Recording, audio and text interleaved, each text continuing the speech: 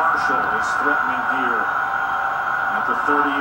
Cato has time and unable to connect with Tommy Shuler. That defense is not giving him the deep ball. And they're daring him to take the shot down. They're really trying to hone in on the short passes and put pressure on him. Boy, Marshall could really use something here. Yeah. You see the second quarter where Yeah. they've been unable to get anything going. Remember, it was a punt return touchdown early that got them on the board. The offense hasn't moved the ball until now.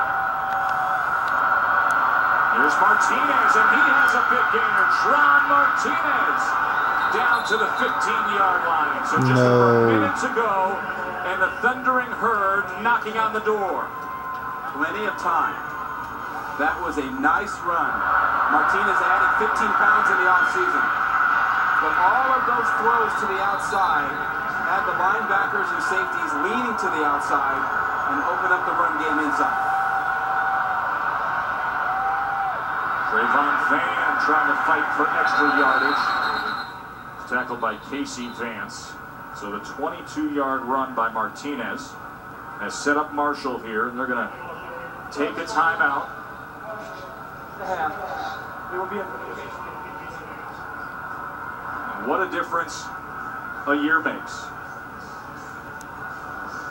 A year ago, it was this Marshall squad who caught West Virginia sleeping a bit. They had a 15 point lead. They were down at home. They'd never Yeah. beaten Big Brother in state West Virginia. Yeah. Everything was going their way. And then all of a sudden, Geno Smith awoke. Yeah. Drives over 90 yards, sent it to overtime where they won it. Well, and it's been Geno Smith in this ball game offensively, anyway, for West Virginia. I mean, he's just extended play after play, making things happen. The Marshall defense has done the right thing. But when Geno Smith gets out of the pocket and makes something else happen, he stays alive, it puts a lot more pressure on the defense. Mountaineer man looking for a defensive stop here. Second and eight. Incomplete. Dodson spins inside the 10, and the clock continues down to a half minute here in the first half. Third down play, hurry but don't rush. You've got time. You have another timeout. Run the play that your freshman quarterback is comfortable with. Here is Van, nowhere to go.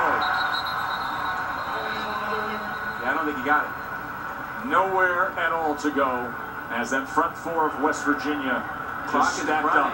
You see Doc Holliday is going to use that last timeout, and he will send on his kicker, try to cut this deficit to 10. Dana Holgorsen's hair looks a little different as the pressure of the first half went on there, doesn't Are you Ron? sure? I don't think it's a lot different from the way it started. He's got a good look going on there. Defense did hold. We were just talking about what happened a year ago. It was a thriller. Geno Smith had to make magic. 12 seconds remaining. Marshall was leading 21 to 13. Came all the way back. It was a 15-point deficit. This was the two-point conversion to send it to overtime. Tyler Bitancurt hit a 20-yard field goal to go up 24-21. And then it was Marshall's opportunity to keep things alive. Tyler Warner's attempt. He thought it was good. It just strayed. And now here he is today from 25 to close out the first half. And they are able to get something out of it. It started well for Doc Holliday and company. Then Geno Smith roared. 20 to 10 Mountaineers at the half. Now let's get to the studio and our Bud Light halftime report with Ryan Burr.